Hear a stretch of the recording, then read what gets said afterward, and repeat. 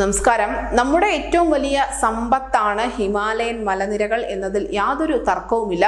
പക്ഷെ ഇവിടെ ശോഷിച്ചുകൊണ്ടിരിക്കുന്ന പ്രകൃതി വിഭവങ്ങൾ അല്ലെങ്കിൽ ആ മേഖലയുടെയൊക്കെ ഒരു തകർച്ച കുറെ അധികം നാളുകളായി പരിസ്ഥിതി പ്രവർത്തകർ പഠിച്ചുകൊണ്ടേയിരിക്കുന്നു. ഇപ്പോൾ ഇത് അതിനൊരു പരിഹാര മാർഗം കണ്ടെത്തിയിരിക്കുകയാണ്. വടക്കു കിഴക്കൻ ഇന്ത്യ ഭൂട്ടാൻ ബംഗ്ലാദേശ് നേപ്പാൾ എന്നിവ ഉൾപ്പെടുന്ന കിഴക്കൻ ഹിമാലയത്തിൽ ഉടനീളം ഒരു ബില്യൺ മരങ്ങൾ നട്ടുപിടിപ്പിക്കാനും വിശാലമായ ഒരു ദശലക്ഷം ഹെക്ടർ ഭൂമി പുനരധിവസിപ്പിക്കാനുമുള്ള പദ്ധതി അവതരിപ്പിച്ചിരിക്കുകയാണ്.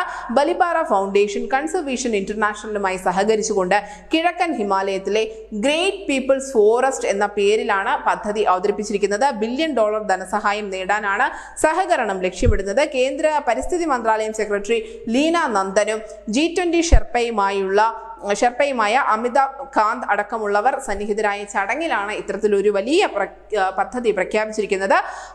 ആതിഥേയത്വം അതായത് ജി ട്വന്റി ഉച്ചകോടിയിൽ ഇന്ത്യ ഒരു ആതിഥേയത്വം നൽകുന്നുണ്ട്.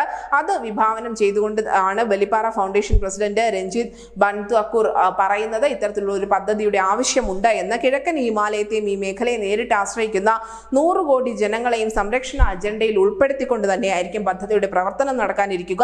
വീടെന്ന് നമ്മൾ വിളിക്കുന്ന മേഖലയെ സംരക്ഷിക്കുക എന്ന ലക്ഷ്യമിട്ടുകൊണ്ടാണ് ഗ്രേറ്റ് പീപ്പിൾസ് ഫോറസ്റ്റ് പ്രവർത്തിക്കുക.